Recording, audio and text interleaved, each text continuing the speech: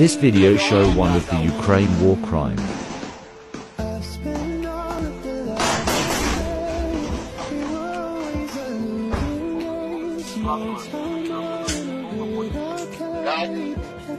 More than 11 Russian Давайте, блядь, soldiers полгода. surrendered.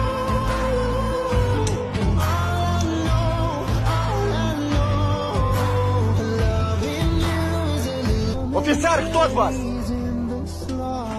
but one Russian soldier don't want to surrender. He tried to shoot Ukraine soldiers.